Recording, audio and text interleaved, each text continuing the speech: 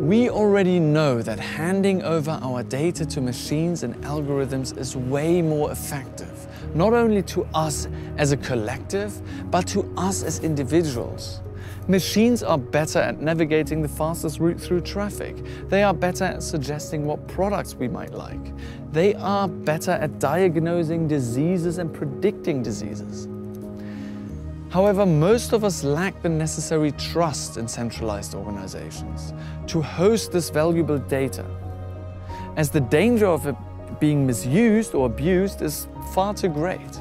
But decentralized, not only data storage, but decentralized decision engines are a major breakthrough in trusted database decision making. Blockchain gives us an impenetrable layer of security, allowing us to stay in full control of our data.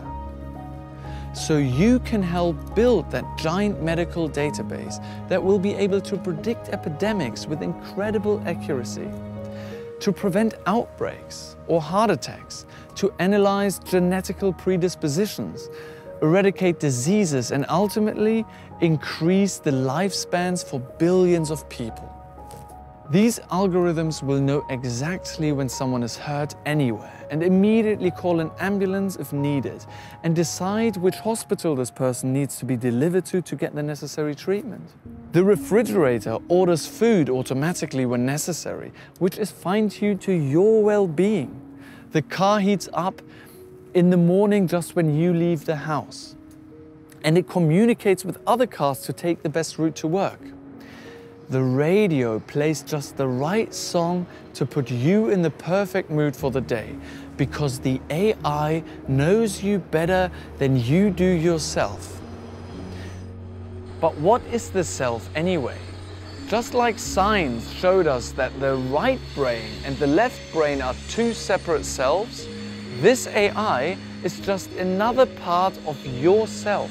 Sounds scary? Well, if you're scared, that these algorithms could be hacked to manipulate us, then think again. Because this sort of manipulation is already happening all around us, constantly, and without AI. You think you are in full control of your beliefs? Look at the scientific evidence that really suggests otherwise. We are shaped by our surroundings, our upbringing, the advertising we're bombarded with everywhere and also what we're fed through the media, of course. But this technology will help us understand all of this by laying it out in front of us transparently.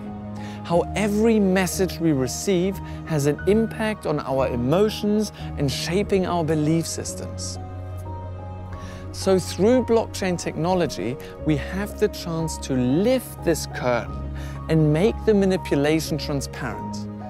And if we fine tune these algorithms to the collective well-being of humanity, this is a great opportunity, not only to learn a lot more about ourselves, but to create a world of peace and abundance, which is the necessary next step in, the, in our evolution. That's why it is so important that the guidelines and target functions of these powerful new technologies are set in a decentralized, transparent and secure environment that leaves no room for corruption. It means we don't have to trust a central authority with our data. It stays with us, or rather with our personal AI, that can form part of a transparent global brain, which will be the source of an unfathomable wealth of knowledge, creating value for every human being on this planet. There's lots of incredible, sometimes scary, many times invasive tech out there, and there'll be plenty more in the future. We have to come to terms with the fact that this isn't stoppable. The key is not to prevent technological advancement out of fear for our privacy or hate for the organizations farming our data, but to prevent the control over data falling into the wrong hands of centralized bodies with no other incentive than their bottom line. The key is decentralization.